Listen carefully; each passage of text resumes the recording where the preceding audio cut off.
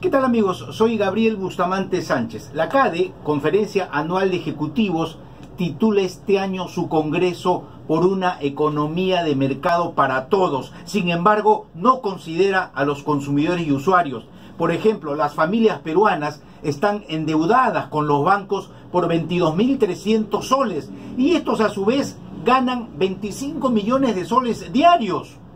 ¿Qué CADE puede haber entonces para los pobres? Mañana a las 10 de la mañana en Exitosa Radio Televisión con Nicolás Lucar expondremos nuestra propuesta. Hasta entonces.